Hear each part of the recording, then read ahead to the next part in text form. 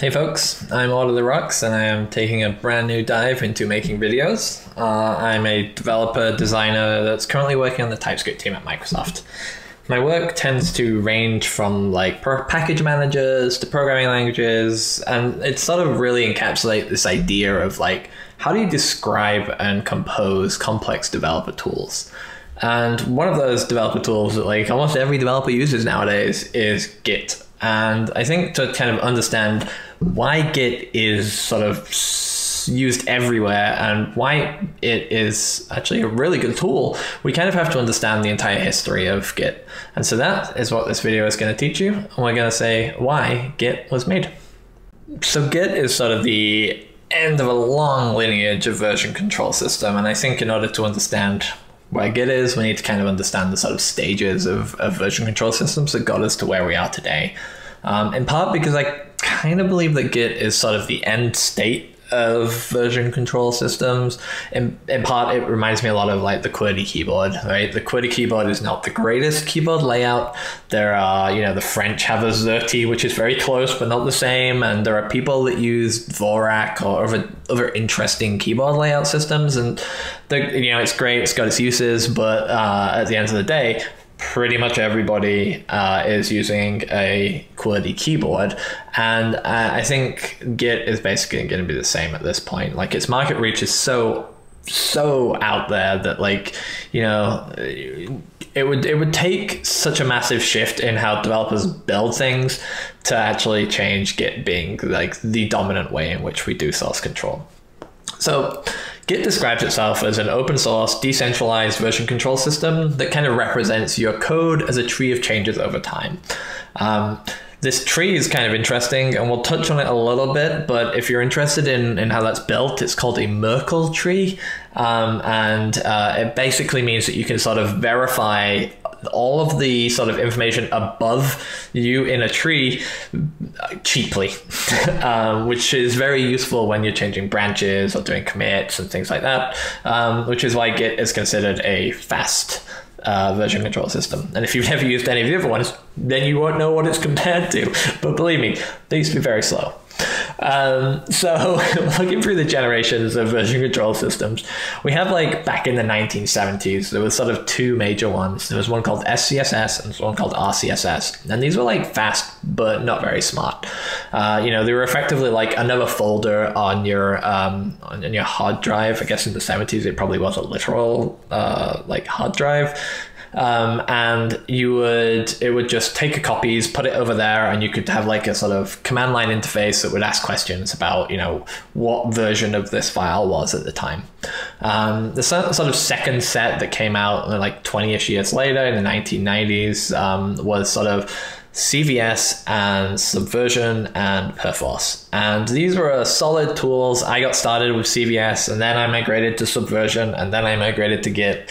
Um, and you know these have these these are all centralized version control systems. So CVS has this conceptual idea not of like every single change only being on one file. Uh, so you know you would check you you take a copy of your entire uh, source code and you'd sort of request one file to diff at the time and you'd send it back up and like you'd hope that nobody else was making changes and pushing them at the same time.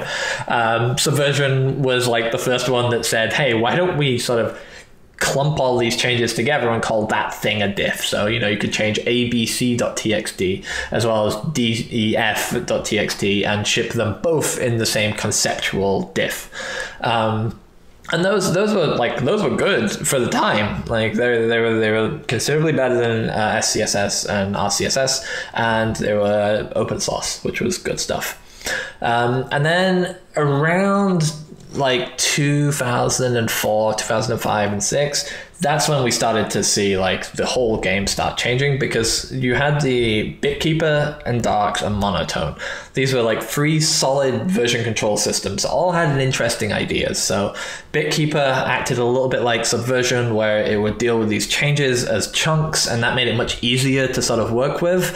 Darcs had a similar setup, and then Monotone was the first one to introduce a directed acyclic graph. These are called DAGs normally, and they effectively say, um, well, you've probably seen one already. If you've ever gone onto GitHub.com um, or used a visual Git client, and you've seen these like la- like sort of arrows that look like subway charts, right, where it forks off, it goes down, and then it connects back in. Those are uh, directed acyclic graphs, um, are just visualized, uh, and they they work with the concept of Merkle trees to do really cool stuff. Um, but the but monotone is interesting because it's like unlike almost everyone else, its backend is just it's just a SQLite database. Uh, every now and again, I, I find this a, a, really compelling idea of just like your, your file type is actually just a, a, a, fancy wrapper around a SQLite database. A lot of iOS apps do that with a thing called Core Data too.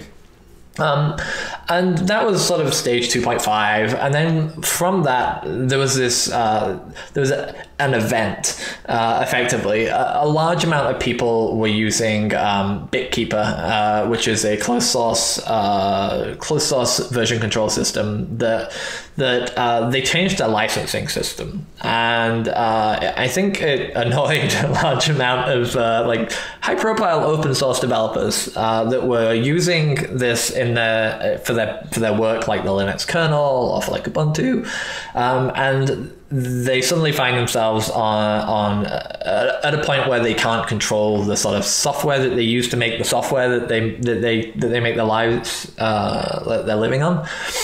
And so we got this interesting period where Git came out, Mercurial came out, Fossil came out, and Bazaar came out.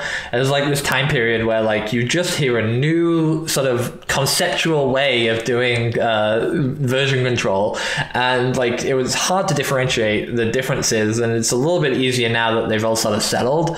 Um, but like it was not obvious that Git was going to be the one out. So let's try and think a little bit about why it was Git that won out. So back then, um, like with quite a lot of us, it was free and it was open source. So Microsoft had their own thing that was called SourceSafe that was pretty cool. There was BitKeeper, which I mentioned earlier, sort of the progenitor of all this generation. And there's Perforce, which is a very like big enterprisey um, sort of version control system that's really well suited for projects that have large amounts of assets and not sort of source code files. Like if you think that a source code file is generally, um, you know, let's call it 2,000 lines of code long, that's like a 30 kilobyte file and differing and manipulating those is pretty trivial but if you're like you know doing games dev the files that you're working with will be like megabytes to gigabytes big. Can you imagine how big, like, uh, you know, uh, let's let's say an Unreal 4 game engine map is in terms of just like gigabytes, may, maybe even terabytes. Like it could be reasonable. Um, and so you need a different kind of version control system than the sort of one that we're used to uh, in with like in terms of normal normal developers dealing with small source files. Okay, so one of the interesting things around this set of tools is that like all of them are decentralized and this all comes from like this pain point of the idea that um, you know they used to all work with this central server and now uh, and and they revoked the permission for free for open source developers. Uh, and and now all these different teams of people are starting to build their own version control system. So you know git mercurial fossil bazaar all of these are decentralized. And what that really means is that like you don't sort of have just a, a copy of it. You have a full clone on your computer. So conceptually, everything that's in GitHub or GitLab is conceptually also available on your computer. That's what makes it fast for, you know, doing like git checkouts or looking at a diff or looking at a specific uh, like change set. Like all of those things are like available on your computer and are not you don't need to like make an API call. Um, you know, for my first when I first used Subversion and CVS, like in order to see the diff of a file, it kind of had to check every single file hadn't changed, see when the last change was, compare that to the last uh, changes on the server, and then send down a diff of the differences between the two. So even just looking at a diff took multiple API calls and was like a slow process to even do. Now you have a full copy on your computer of every single bit of information that Git would actually want to use on its uh, to show you the information that you'd like to know. Um, and what this meant was that conceptually it was de- decentralized. Um, and, you know, I imagine the highbrow idea at the time was that we would all be running our own Git servers and they'd sort of talk to each other. I know that in my life, probably like two or three times I've ever used like two folders both talking to each other through the official sort of Git uh, sort of cloning system. Um, but almost all of are basically centralized on these centralized services like GitHub or GitLab that um, host our, our Git repos for us. But we kind of get the, the concept of forking from that, right? Like you know if i if i fork typescript the repo um, then i have orta slash typescript and that it has all of the information that you know microsoft slash typescript had at the time but it's all available entirely on my personal like fork of it. And then on top of that if i have a copy of that uh, available on my computer, then there is like at least three full copies of all of the information at that time. And that represents all of the branches, all of the changes, all of the sort of the code at the end of the day. And being able to have all like all of the access at all times is a very powerful tool that has allowed Git to have like a pretty complex set of features. Um, and on top of that, it's it fast, and that's what's really cool. Git is extremely fast in comparison to the older generation before it, and you know, so is Fossil, so is Mercurial, and so is Bazaar. In fact, um, you know, within these set of siblings, like honestly, it's just it's hard to differentiate them uh, without like going into very small like differences. So, like, here's an example. This here is how to clone a repo and Git and how to commit. This here is how to do the same thing, but for Mercurial. Like they're basically the same. All of the like, you know, the terminal commands do almost the exact same thing, have almost the exact same metaphors. Um, and, you know, the differences between them, like, you know, people say that Mercurial had a better user interface, so, you know, better error messages, better ways to handle merge conflicts. But like, you know, Mercurial did not have GitHub. And that alone is probably one of the major reasons why Git ended up winning out out in that case. Fossil, in my opinion, is one of the interesting ones because, like, one thing that's hard to get when you're just starting programming, and it may still be for quite a lot of folks, is that, like, Git in the GitHub bit is only like the files that are sort of, you know, the communications back and forth. Like things like concepts like pull requests or GitHub issues or the wiki, um, uh, all these things that wrap around it that sort of is a GitHub value add, those don't exist in Git um, but in Fossil, they do. And so Fossil tries to represent like bug reports and wikis all inside the actual sort of uh, database of, um, of changes that, that, that, these tools do. Um, and that's a pretty cool concept. Honestly, I, I thought that that might have been one of the reasons why it could have won. But again, like you couldn't account for GitHub existing back then. And, you know, that's kind of why, why Git won in the end. It's, it's like a, a very very very trivial answer. Um, so Git grew out of like this desire to have a decentralized open source version control system that could you know be everything that they needed for the Linux uh, kernel, and you know to my knowledge I think it was roughly built in a month, and then you know has been built for I don't know twenty ish years since then, um, and some of the features that I think are sort of like standouts to, to Git nowadays that would be very hard to replicate easily is like Git submodules, you know, like the idea of having multiple Git repos in a single Git repo. Like, you know, I built repos with like five, I built, I built one that was four Git submodules deep. Like it was, uh, it was like a, a, GUI client. So I worked on the Mac GUI that then had an Objective C library that had a, uh, a C++ wrapper that then had a C library, and all of those things were nested Git submodules. So like you had to make make a change to one of them, you had to like do this cascading system. Um, they built Git LFS. I think that was sponsored by GitHub, maybe, um, to sort of look at the problem of how do you address large files in a Git uh, Git repo. Um, and there's like Git subtree. How do I clone only a specific amount of the uh, the, the Git repo and shallow clone? How do I make sure that I only clone like a, a, depth layer so I only basically get like the the files rather than the full history? Um, for something like uh, the CocoaPod spec repo, that that's kind of useful. Like the CocoaPod specs repo is like a Imagine a package manager where every bit of information about the package was actually available on your computer, making it like somewhat decentralized. Um, that process was done via Git, and every single diff was in the history, and so it's a very very big history. Uh, and now now we've fixed that problem, but we we kept it that way for about seven or eight years.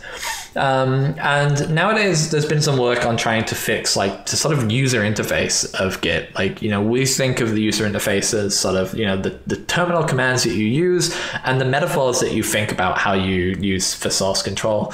Um, I'm I, I, I tend to use Git checkout a lot. So like Git checkout dash B to create a new branch, Git checkout branch name to jump between branches. But Git is trying to like uh, add new metaphors into the sort of uh, the tools that you use. So there's now Git switch and Git restore. These are meant to be like tools to helping you creating new, um, you know, jumping between branches and things like that. Um, and the, there's a lot of work on the moment done to sort of make it easier to use for new folks because like Git's one of those things where you're like, yeah, you you you could probably memorize maybe ten commands, and you're probably to be okay with just that for like a good few years, uh, and then suddenly someone asks you to bisect uh, a, a, you know a bug that was like two years ago on a version that uh, doesn't compile on modern soft um, you know modern tools. Uh, that's when you're going to need to learn all your Git foo. Um, also, like Git as a conceptual system is quite small and simple. Uh, it's a lot of files in, in dot folders effectively. Uh, you can go look at them. Um, and so I've seen multiple implementations of Git in different languages. So there's, uh, you know, for Danger in Ruby. Yeah, in Danger Ruby, we actually do use a Git implementation built in Ruby so, to sort of, you know, pull out the history, try and find out where all the, the changed files are and do stuff like that. Um, and I know that there's been an implementation in JavaScript and I'm pretty sure there's a really good tutorial that teaches you how to build your own implementation of Ruby. Uh, oh, not of Ruby, of Git in Ruby. Um, so if you're interested in learning more about how all that stuff works, uh, you can find it. It's all people are out there doing really cool stuff. So if you want to sort of dive deeper into like why, what Git is and why it works together, um, you should obviously visit their homepage. There's a good book by Scott Chacon. I think that's how you pronounce his name. Chacon? I don't know. Um, but uh, that's that's good. I think it's called Learn Git. Um, then there is the um, you should look into direct acyclic graphs and Merkle trees, especially if you're like interested in blockchain. Like uh, the Merkle tree concept is used in blockchain to verify the entire history of the um, of the, the ledger, the blockchain ledger. Um, and it's the same conceptual like tool as used in Git history to be sure that like the changes come after the, the changes. Um, and so you can learn a little bit about that on the internet. Shocking. Um, and you can, I think, probably the best resource I found for m- me understanding like Git uh, is a thing by Tom Preston-Werner called um, the Git Parable, and it's like a, it's just a, it's just a you know, it's just a non-technical-ish explanation of how each stages of version control system came about uh, and how they were all like sort of logical steps on top of each other to eventually become like decentralized, direct, you know, DAGs. Um, and that's a really cool read. So I'd recommend reading that if there's anything to come out of this. Um, uh, that's the end of this. So that means I have to tell you to like and subscribe. Uh, I also have to tell you to leave a comment. So the prompt for leaving a comment is what is your worst merge conflict? I think mine uh, tended to always come from using Xcode. Xcode had these massive XML files that represented your project state, and you know one person edited one file at the top of the file, another one somewhere else, and like you just ended up learning how to sort of delete things inside, and delete merge conflicts in a, in a in an XML file really quickly as an iOS developer. Um, they were particularly bad in storyboards too. So uh, that was my merge conflict nightmare. I'm sure there are better ones. Uh, all right, ciao, folks. It was a pleasure. Have a good time.